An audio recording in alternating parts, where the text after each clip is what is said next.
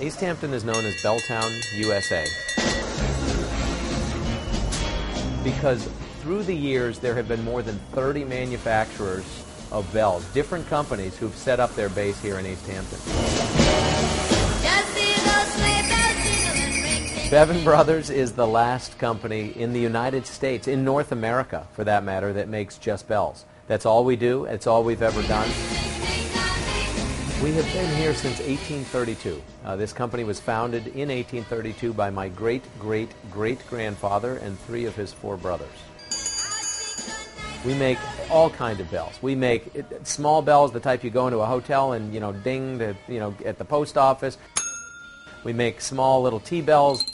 We make uh, sleigh bells. Uh, all the bells this time of year that you see the Salvation Army kettle ringers using trip gongs that are used in mines.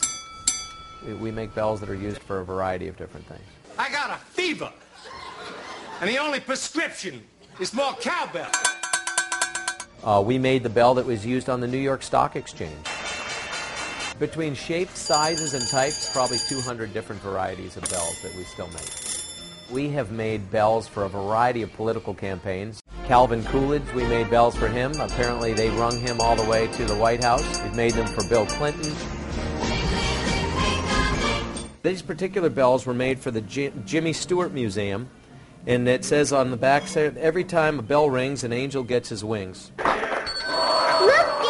teacher says every time a bell rings, an angel gets his wings. It's a bell we made, actually. We didn't know they were going to use it in that movie. Uh, but the movie that uh, the bell that is rung when Clarence gets his wings in It's a Wonderful Life was made right here in Belltown, USA.